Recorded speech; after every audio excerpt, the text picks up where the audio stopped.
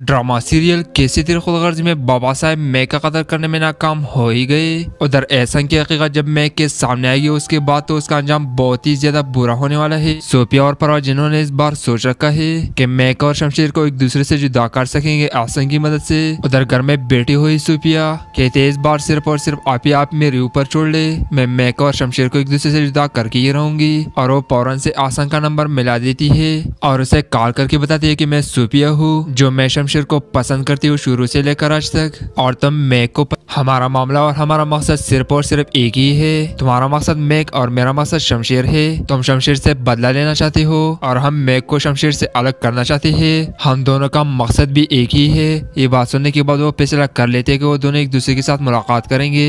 आसन से टाइम लेने के बाद वो आखिरकार बाहर चले जाती है। जहाँ पर जाकर सुपी और ऐसा की वहाँ पर मुलाकात हो जाती है। आसन बहुत ही ज़्यादा हैरान होता है और उनके पास बैठ के प्लान सेट किया जाता है कि किस तरह से वो मैक और शमशेर को एक दूसरे से जुदा करेंगे, क्योंकि इस बार सुपिया के हाथ तो कुछ भी नहीं आना, लेकिन उसने भी मैक और शमशेर को एक दूसरे के पास खुश नहीं रहने देना। आसन, निदा और परवा को जाता जाता जवाब देकर चला जाता है क्यों उनकी किसी भी मामले में किसी तरह की मदद नहीं करेगा।